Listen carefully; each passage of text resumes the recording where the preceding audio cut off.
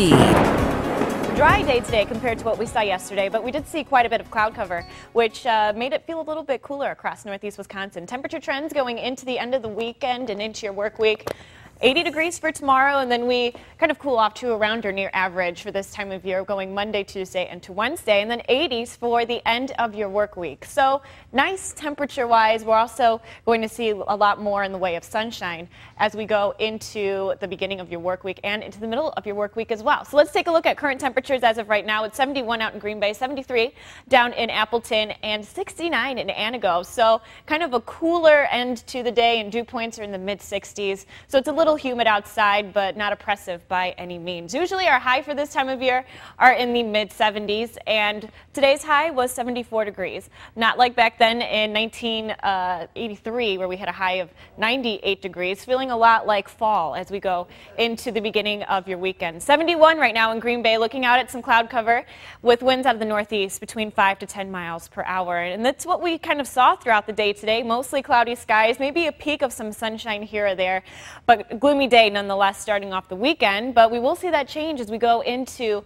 Sunday because we do have more in the way of sunshine as we end off the weekend. Yesterday we did see our fair share of rainfall though. Green Bay saw well over an inch of rain as well as out towards um, Oshkosh, but overall nice soaking rain and that's good for us because we are uh, still uh, three inches below average for this time of year precipitation wise. And we're not done with the rain. We do have a chance of seeing some going into tomorrow. Here's current radar as of right now, just seeing some clouds move through out towards the west, towards uh, Wausau, seeing a little bit of showers, but none of that will hit us. And here's what our current radar is looking like. We have a cold front off towards the north and a low pressure system to the south, so there's a potential of sparking up some showers going into tomorrow. So here's Precision Cast planning out the rest of the night and going into tomorrow. Mostly cloudy skies, staying relatively dry as we go into Saturday night.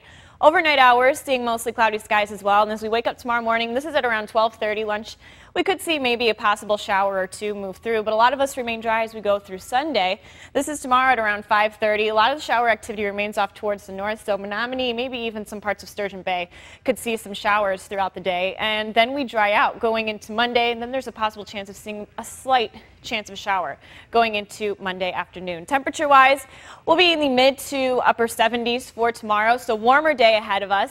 And then we'll continue, continue to see more in the way of warmer temperatures as we go into the beginning of your work week with temperatures topping out in the upper 70s and some areas, even the lower 80s. For tonight, though, 62 for an overnight low. Mostly cloudy skies. will stay dry, mild, and we'll see some patchy fog develop. Tomorrow morning, we could see some uh, fog stick around with partly sunny skies. Temperatures top out in the mid to upper 70s and lower 80s for some areas with a very slight chance of shower going into tomorrow afternoon. So here's your 10-day forecast. 77 starting off your work week with a chance of some showers. Tuesday into Wednesday, we do dry out with temperatures in the upper 70s.